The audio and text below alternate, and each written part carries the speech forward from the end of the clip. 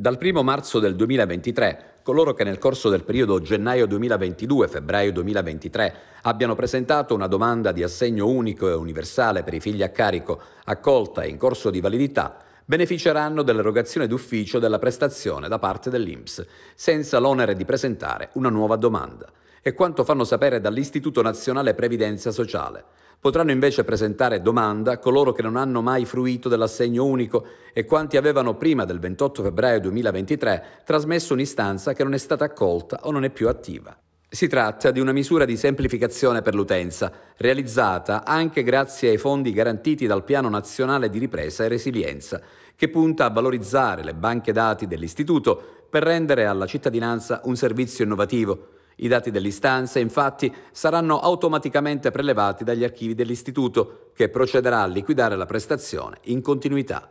Dall'INPS aggiungono che eventuali variazioni delle informazioni precedentemente inserite nella domanda di assegno unico trasmessa a INPS prima del 28 febbraio 2023, a titolo d'esempio nascita di figli, variazione, inserimento della condizione di disabilità, separazione, variazioni IBAN, maggiore età dei figli e altro, dovranno essere comunicate dai richiedenti integrando tempestivamente la domanda già trasmessa. Le domande possono essere inviate tramite le consuete modalità portale web dell'Istituto, previo accreditamento con SPID, carta d'identità elettronica, carta nazionale dei servizi, contact center integrato, servizi offerti dagli istituti di patronato, app mobile INPS. Per quanto riguarda la decorrenza della prestazione, non va dimenticato che per le domande presentate entro il 30 giugno del 2023 L'assegno è riconosciuto a decorrere dal mese di marzo dello stesso anno. Per la quantificazione dell'assegno permane per tutti i beneficiari l'onere di procedere alla presentazione della nuova dichiarazione sostitutiva unica